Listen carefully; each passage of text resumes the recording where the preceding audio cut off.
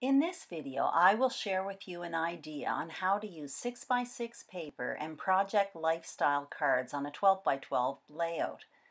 All the products I'm using today are from Stampin' Up! The 6x6 paper pad and the Project Life style cards are from the Petal Garden collection. The first step is to select three pieces of cardstock that coordinate with the printed paper.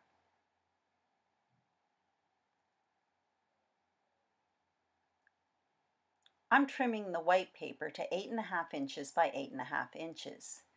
These pieces of cardstock will form my foundation page, but I find it a little heavy, so I decide to stamp the largest piece of cardstock with a swirly circle design and Versamark.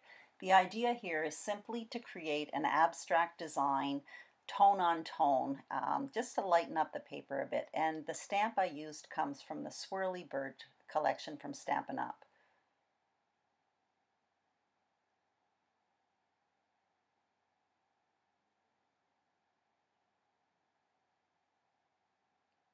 In a moment you will notice I select three pieces of printed paper from the 6x6 paper pad and when I select the paper I'm careful to choose one uh, pattern that has a looser design, another pattern that has a tighter design, and a tone-on-tone -tone paper.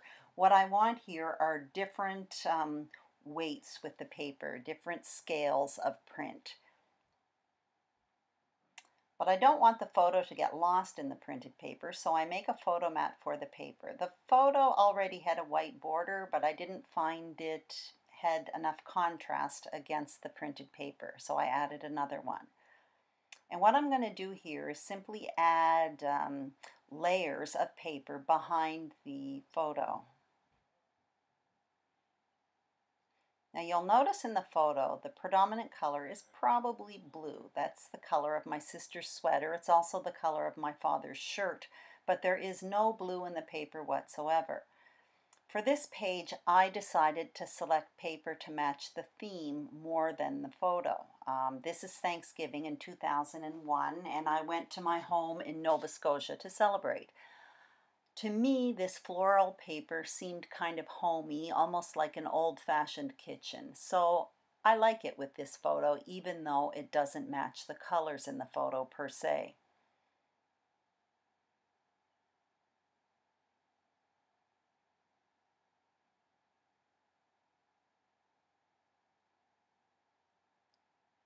Once I've made my photo mat, I start looking for decorations. So I select some cards from the, um, the card kit that comes with this collection and I put one at the bottom left and one in the top right corners.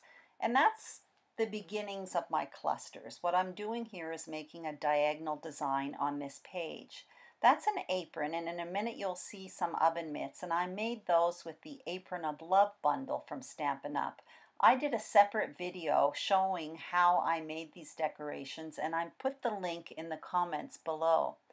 Now I'm getting out these stickers and the card kits at, with Stampin' Up! come with a couple sheets of stickers as well. They're kind of fun. So what I'm doing here is I'm building up these two corners with decorations.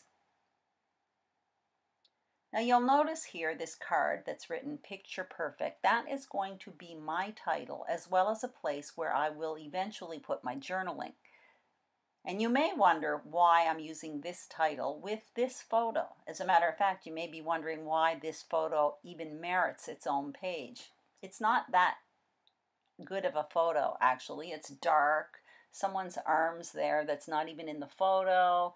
It's not well composed. But to me, it represents a fond family memory, and for that reason, it's very important.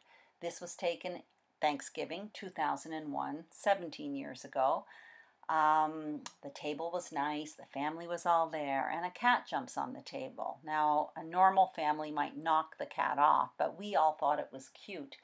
And my brother in law gets a fork and a knife and pretends to start carving the cat, Cosmo, pretending he was the turkey.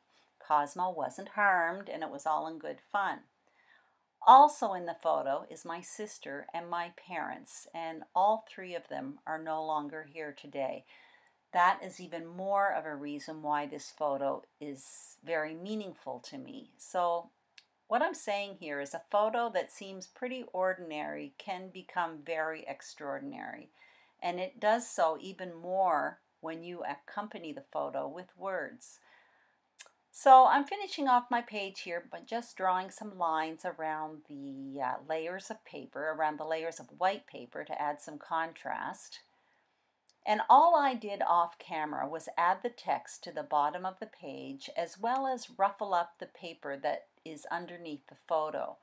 I hope you liked this video. If you did, please give it a thumbs up. Also, if you like this video and would like to see more, feel free to subscribe to Scrapbooking Quebec. I would be forever grateful. Thank you very much and have a good day.